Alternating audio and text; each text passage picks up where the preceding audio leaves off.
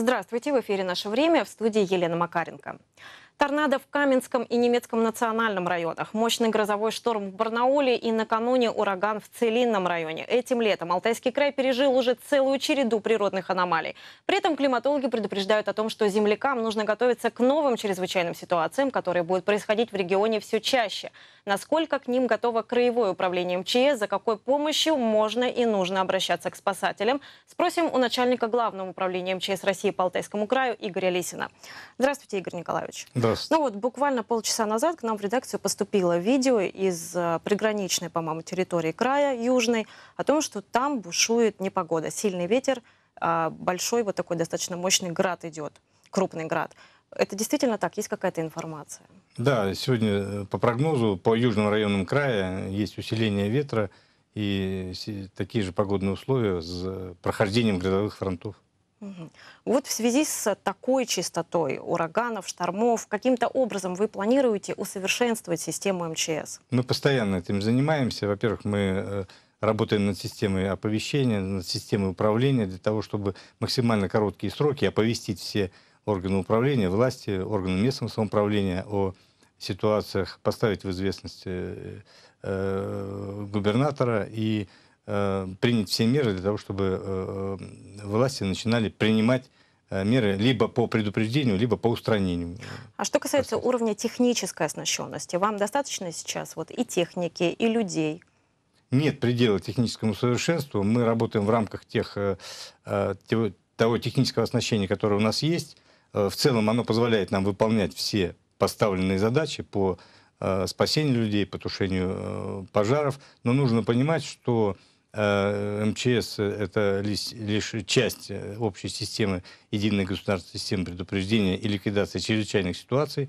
И все ведомства должны работать над тем, чтобы повышать уровень оснащенности своих аварийно-спасательных служб, аварийно-строительных бригад, для того, чтобы можно было Э, в кратчайшие сроки устранять все последствия. И все-таки вот будут ли предприняты какие-то конкретные меры для своевременного оповещения населения?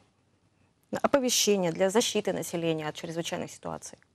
Мы э, этой темой постоянно занимаемся, э, а, а, отлаживаем все, все, все взаимодействие с нашими компаниями, которые проводят оповещение, сотовые компании. Мы работаем над тем, чтобы Э, органы власти своевременно принимали меры э, по направлению сил и средств в район чрезвычайной ситуации или происшествия. Э, и конкретные меры, они видны в тех объемах финансирования, которые выделяются и краевым бюджетом, и муниципальными бюджетами, и бюджетами компаний коммерческих, которые отвечают за те или иные вопросы жизнеобеспечения. Ну, например, вот по устранению э, последствий э, шторма в Барнауле было э, использовано для устранения недостат, недостатков в энергоснабжении порядка 25 километров проводов, более сотни опор, новые, построены новые линии. Это все материальные ресурсы, которые заранее планируются. Над этим работают все органы власти. Ну вот в связи с прогнозом на новые ЧС, можно ли говорить о том, что финансирование в ближайшее время увеличится? ну вот вашего ведомства в частности? Э, дело все в том, что мы э, работаем в рамках бюджетов, и я должен сказать, что мы э, получаем все необходимые ресурсы на то, чтобы ликвидировать чрезвычайные ситуации. Должен сказать, что если происходит ситуация, связанная с очень масштабной, масштабным вопросом, то, конечно, здесь речь идет просто об увеличении сроков производства работ. Э, Игорь Николаевич, очень кратко. Вот на 27-28 июня новый шторм. Прогноз, какие территории он затронет, как людям подготовиться лучше?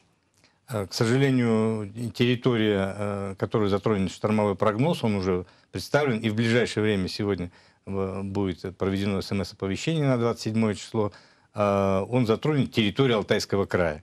И мы не можем сказать, в какой конкретно территории, ни мы, ни ЦГМС, и думаю, что никто не может сказать, в какой конкретно территории. Э, это просто нужно и, быть готовыми. Да, да, просто нужно обеспечивать готовность, смотреть внимательно. Э, и когда есть просто э, даже такой прогноз погоды, уже просто оценивать э, свои действия немножко иначе, чем в обычной обстановке. Спасибо большое за ваши ответы. А я напомню, что это была программа «Наше время». До свидания.